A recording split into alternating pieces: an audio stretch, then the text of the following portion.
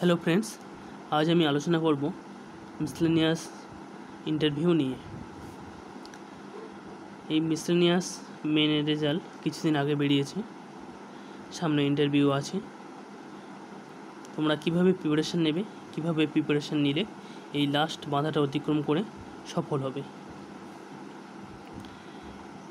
আমার নিজের ডব্লিউবিসিএসে ইন্টারভিউর অভিজ্ঞতা এবং অন্যান্য বন্ধু বা কলিগ যারা আছে, তাদের ইন্টারভিউর অভিজ্ঞতা, যারা মিসলেনিয়াসে সফল হয়েছে, তাদের অভিজ্ঞতা থেকে এই ভিডিওটি তৈরি করা হচ্ছে। আশা রাখছি এই ভিডিওটা তোমাদেরকে তোমাদের সফল হওয়ার পথে খুবই সহায়তা করবে।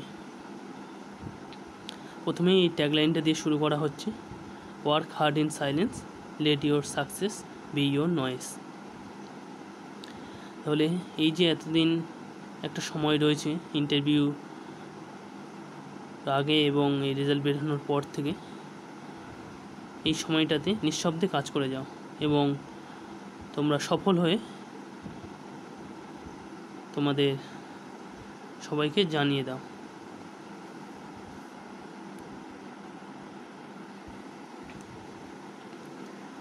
তাহলে how to prepare for miscellaneous interview part one এখানে পার্ট ওয়ান বলা হচ্ছে কেন?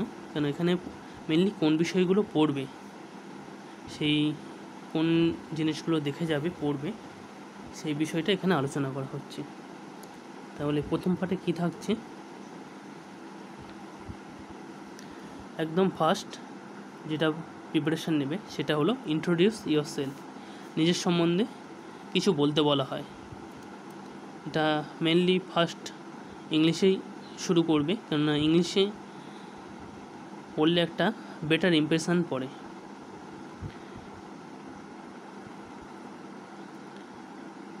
এবার ওনারা তোমার যদি ইংলিশে অসুবিধা হয়, তাহলে স্যারেদের কাছ থেকে পারমিশন নিয়ে নিও যে, sir can I speak in Bengali ওনার অনুমতি দিলে তবে বেঙ্গলিতে শুরু করবে এবং ওনারা অনুমতি দিয়ে দেবে। তবে আমার মনে হয়। এই পার্টটুকু ইংলিশে লিখে পুরো মুখস্থ করে নেওয়া উচিত। এখানে কি করবে? নিজের নাম, ঠিকানা, কি করেছ? স্কুল, কলেজ, ফ্যামিলিতে কে আছে, কে কী করে? নিজের জেলার কিছু স্পেশাল থাকলে সেইটা সম্বন্ধে বলবে। এবং তোমরা আয়নার সামনে দাঁড়িয়ে এটা বলে বলে প্র্যাকটিস করবে। এবং দেখবে কোথাও কোনো ভুল ত্রুটি হচ্ছে কি না তোমাদের এক্সপ্রেশান বডি ল্যাঙ্গুয়েজ সব ঠিকঠাক হচ্ছে কি না সেটা অবশ্যই দেখবে। এরপরে আসছে subject of graduation of master যাদের গ্র্যাজুয়েশন এবং মাস্টার একই সাবজেক্ট তারা এটা ভালো করেই দেখে দেবে কারণ এখান থেকে অনেক কোশ্চেন করে এবং একটু ডেপথেও কোশ্চেন করে। যারা মেনলি লিটারেচার আছে গ্র্যাজুয়েশনে তারা অবশ্যই সেটা ভালো করে দেখে দেব কেন বিভিন্ন বই এবং লেখকের নাম, উপন্যাস, ড্রামা,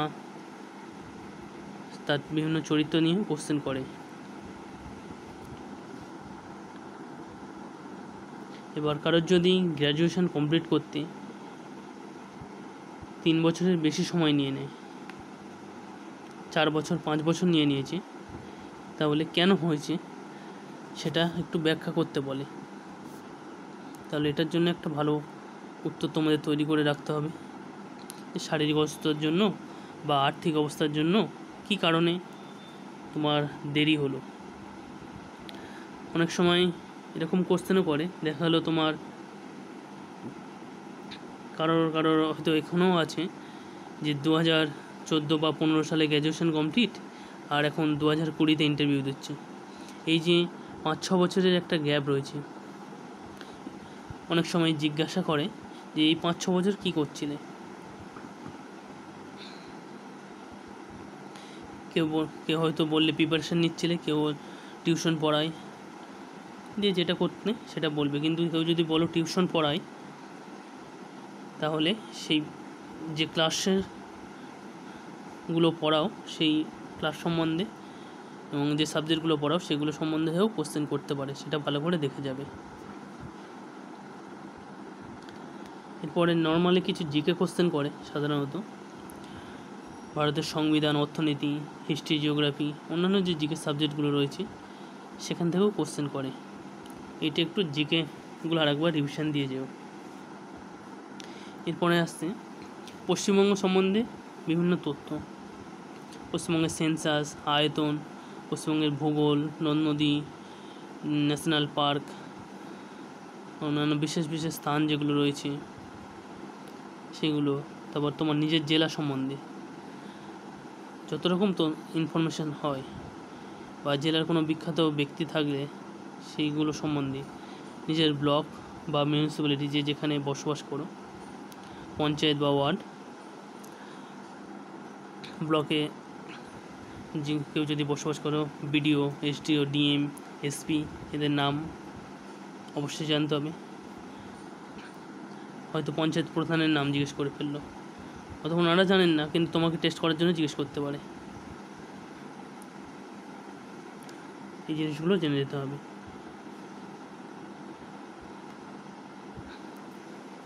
এরপরে আসতে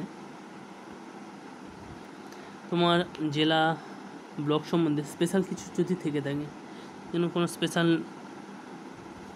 ন্যাশনাল পার্ক বা জাতীয় ঐতিহ্য, এমন কিছু স্পেশাল যেমন দক্ষিণ চব্বিশ পরগনা জেলা যদি ধরা হয়, এখানে ম্যানগ্রোভ বা সুন্দরবন বিখ্যাত বায়োডাইভার্সিটি হিসাবে। যেমন এছাড়া যেমন দার্জিলিং জেলা, দার্জিলিংয়ের জন্য বিখ্যাত পাহাড়ি অঞ্চল।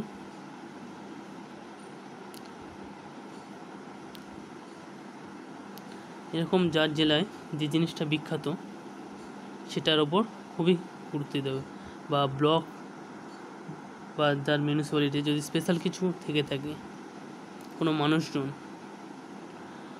স্পেশাল কোনো ব্যক্তিত্ব যদি থেকে থাকে,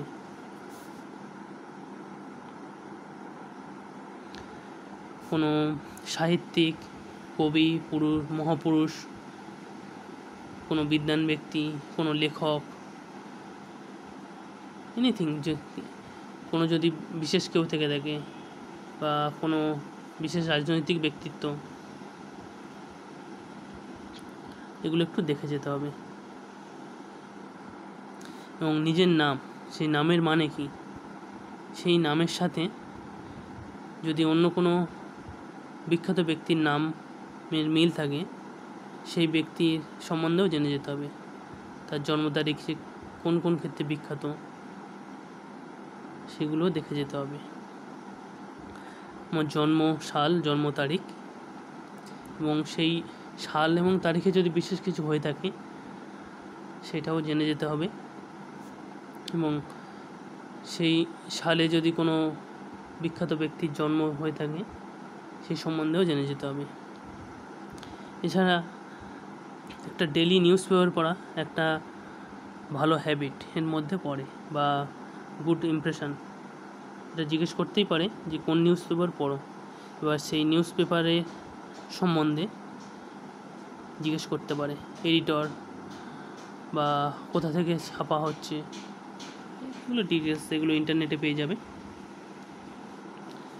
এছাড়া কারেন্ট অ্যাফেয়ার্স থেকে, ও অনেক কোশ্চেন করে। আর রিসেন্ট দিনে কারেন্ট অ্যাফেয়ার্স খুবই গুরুত্বপূর্ণ। ভারতের সাথে বিভিন্ন প্রতিবেশী দেশের সম্পর্ক নিয়ে একটা সম্পর্ক নিয়ে যে সমস্যা এবং আন্তর্জাতিক স্তরে যে বোঝাপড়া চলছে, সেই বিষয়টাতে একটু জোর দিতে হবে। এছাড়া নতুন পার্শ্ববর্তী দেশে যদি কোনো প্রেসিডেন্ট বা প্রধানমন্ত্রী চেঞ্জ হয় সেই বিষয়ে দেখে যেতে হবে। ভারতের কোনো দেশের সাথে কোনো চুক্তি যদি হয় বা রিসেন্ট কোনো ফাইটার প্লেন কিনছে। ভারত, এই পরিস্থিতিতে যে বিভিন্ন দেশকে আন্তর্জাতিক ক্ষেত্রে যে করোনা রিলেটেড যে ড্রাগটা ছিল হাইড্রোক্লোরোকুইন দিয়ে সাহায্য করেছে, কোন কোন দেশে দিয়েছে, বা কোন কোন দেশ ভারত থেকে সাহায্য পেয়েছে। রিসেন্ট যে পঙ্গপালের সমস্যা, রিসেন্ট প্রায় সময় দেখা যাচ্ছে ভূমিকম্প হচ্ছে ছোটোখাটো। এছাড়া যে প্রাকৃতিক দুর্যোগ হয়ে গেল, আমফান এই ধরনের সম্বন্ধে জেনে যেতে হবে।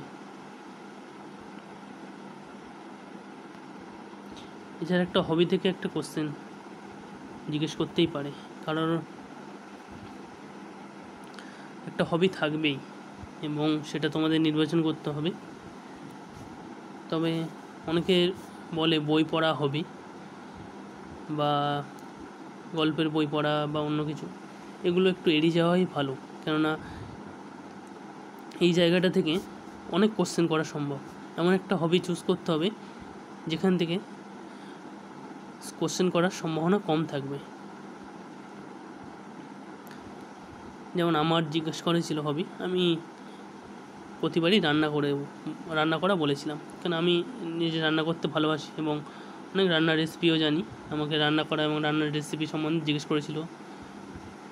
আমি সেগুলো ভালোভাবেই বলেছিলাম। কেউ বাগান করাও বলতে পারো, তবে যেটা বলবে সেই সম্বন্ধে জেনে যেতে হবে। অনেক রকমই হবি রয়েছে। সাইকেল চালানো, বাগান করা, ঘুরতে ভালোবাসা, খেলতে ভালোবাসি, এই সম্বন্ধে সব জেনে যেতে হবে।